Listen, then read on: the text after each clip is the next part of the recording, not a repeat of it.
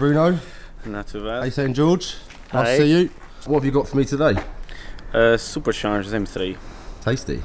Yeah. Horsepowers? Well, um, it should be with a half bar of boost. It's running at the moment slightly over. Uh, it should be around 470 brake. So out of the factory, what did these originally come with? 340. This is quite a big step up from where it was. Yeah, but like it's it still is only at 3.2. Uh, now the difference is we we built it uh, lower compression pistons, not by much. It's only 10, so it's ideal for supercharging. So it's still pretty responsive. Um, yeah, and uh, forged rods, ARP bolts, the the basics yeah, for a, new, new a bearings. boosted engine. Yeah, it Yeah. was full rebuild. Standard cams? Yeah, standard cams. Uh, you can play with the Vanos as as I've done already. This is on standalone ECU because we were really struggling to get it to run to the point we were happy with on the yeah, standard ECU. standard ECU. So we just decided to go standalone. And We- what, what ECU is it? it's uh, ECU Master, um, which is the same I'm using on my new build, uh, ECU Master Black. So it's very decent. On this one, we're still uh, coding the um, CAN bus. Like it's not fully done yet, the canvas bus coding. That's why like there's some lights on on the dash. Yeah. It's because that's not everything is working spot on. Should we have a quick look under the engine bay? Yeah, yeah, can do. It's so not hundred percent finished yet. We still have a few things to do. We're going to redo the intake plenum. Oh, yeah, tasty. And what, what supercharger is that? It's a Rotrex, the C90 slash or three, so which is the biggest one they do. Um, so it's very very capable. So at the moment it's only asleep with the amount of boost it's yeah, doing. focal boost. Yeah. Yeah, like uh, it can take a lot more. We're going to go for next uh, better shape plenum to be more efficient and to get a few more ponies out of that as well. Yeah. And this is all your custom custom plenum.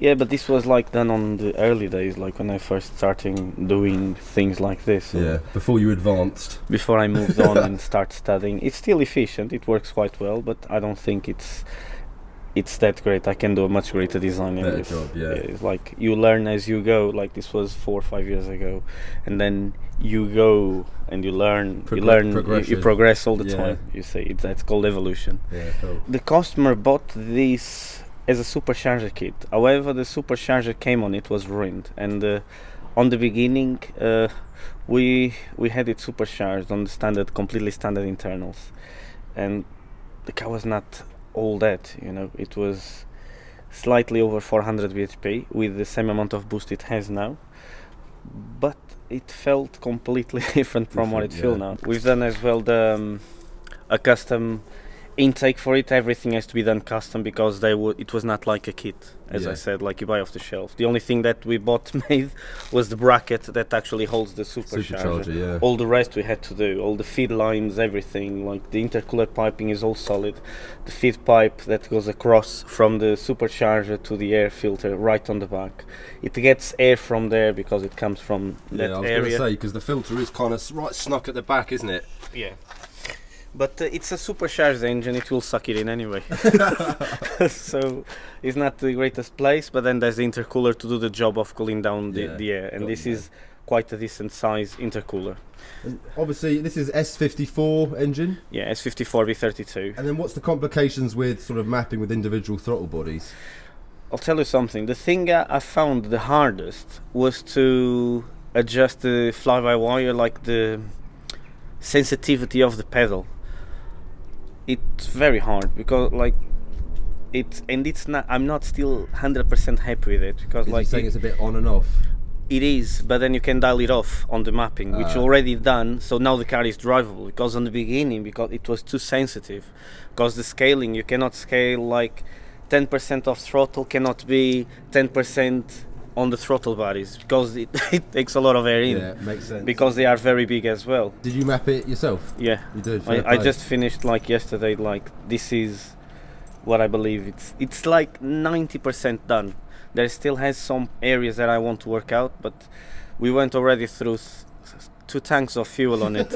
I took it yesterday for a drive. Um, and all I've done plugged laptop in and just done a log of the drive then I got here this morning. I spent an hour looking at the full log, seeing the points that needed to be readjusting, seeing the knocking, like the ignition values, boost values, fuel values, to make sure like I could make it trim all that down and make it smooth. And I still want the car to be reliable. Yeah, like, got you. we don't want the car to lose any real really reliability. Yeah, uh, especially when John's driving it. oh yeah.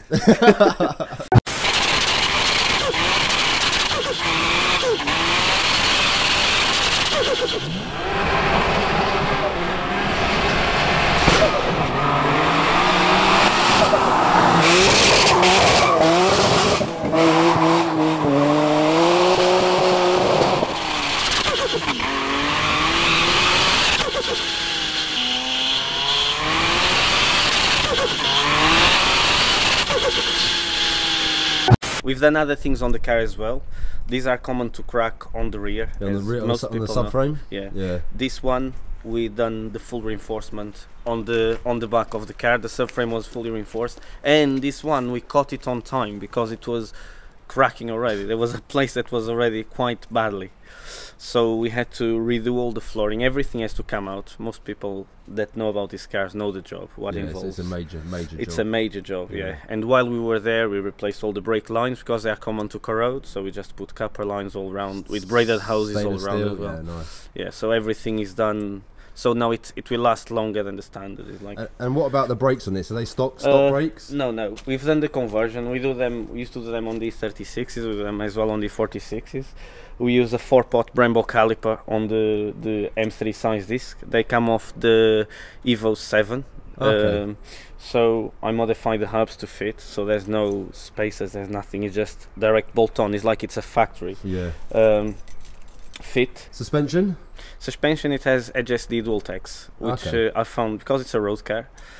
I found it's it's enough. You don't need a lot more than that. It works well. It's already adjustable. Yeah. You can play with it up and down. You know, I And, the, and these do, to be fair, handle pretty pretty sweet yeah, out the, of the, chassis, the chassis on them is very good, Yeah. and even the standard suspension is really nice. It's Yeah. like many people put bath coilovers on them that Yeah. I've seen a few Makes before. them a bit crashy. Yeah, and like you just ruin the car. The car Yeah. loses the ability of being as quick. The car needs to put the power down, so the rear has to be fairly soft. Yeah. so it uh, squats and uh, it gets the grip and even still it's very hard to get the Yeah. power down and what what tire what tires we running all round today, Uh, Bruno? P- uh, Pirelli P0 Nero uh, we got 275 30 19 on the back Okay, so quite a decent size. yeah and On on the front front? we got 245 Super five. right. yeah it still feels like it's on plastic tires sometimes And the weather doesn't help. The fact it's a bit grey and miserable and cold, yeah but it's like it's not going to be great so no, we can we can make do. The audience is going to love it regardless. Gearbox is standard. standard gearbox they are known to cope with quite a lot of Pretty torque and strong, power, yeah. We actually use them in the drift world, as you know.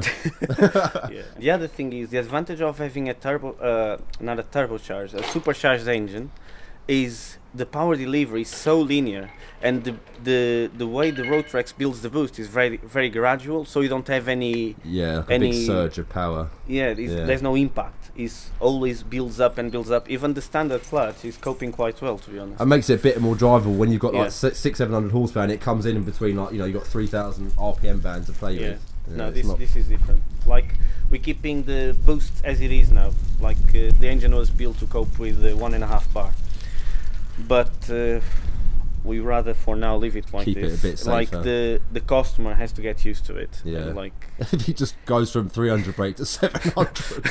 yeah, it's quite a jump. Slight, yeah. Um, and like um, it's uh, well, um, I I was very impressed with it when I tried it properly yesterday. So. Cool.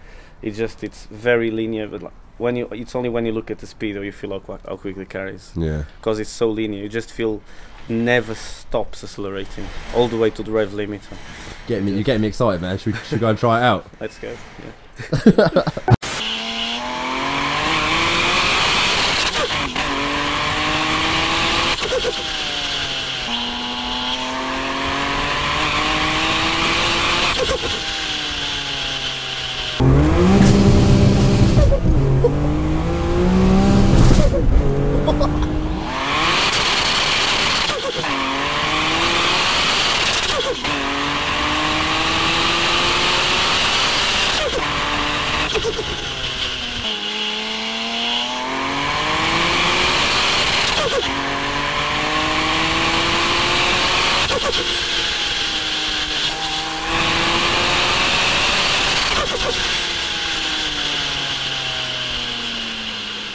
conditions are s- Aren't great. slippery today.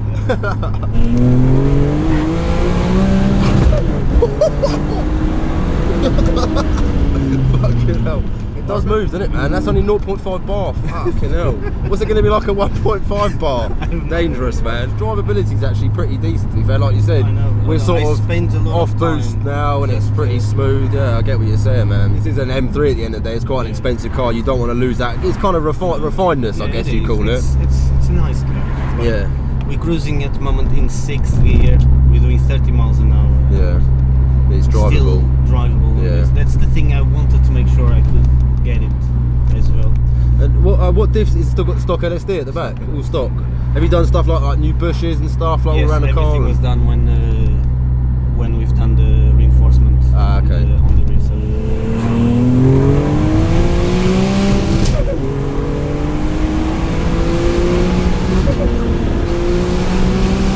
Fucking hell. Does sound sick, man.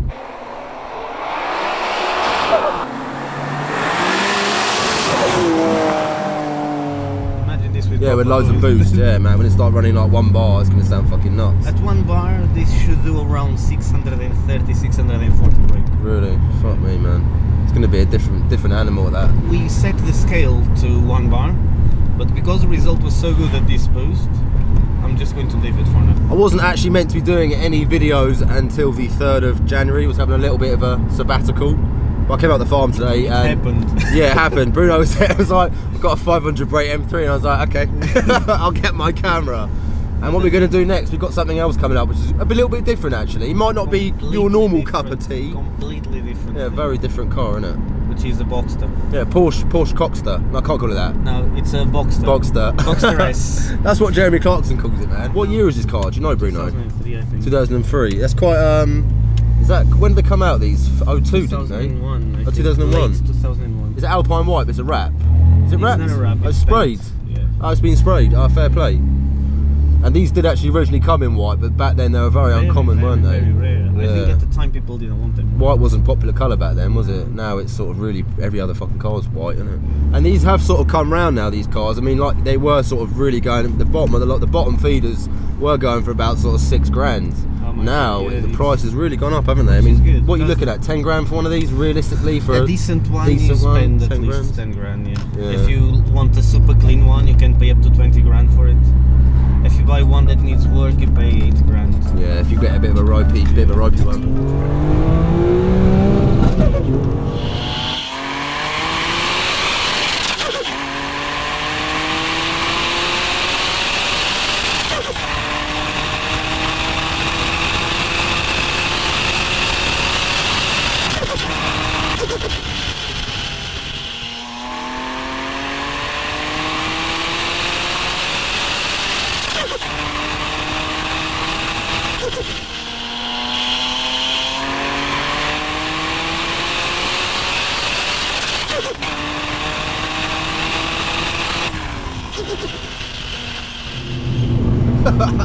Nice one, Mr. B. That pretty much wraps up this cheeky, cheeky little review. Your social media, BDS Performance, BDS, BDS underscore. underscore performance I'll chuck a little thing in here if you guys want to give Bruno a cheeky little follow. We're going to be doing a lot more car reviews for 2019. So yeah, if you guys want to get your car on the channel, we're doing talking and non-talking POV stuff. So if you want to get your car on the channel, feel free to give me a shout and see you soon. Hey!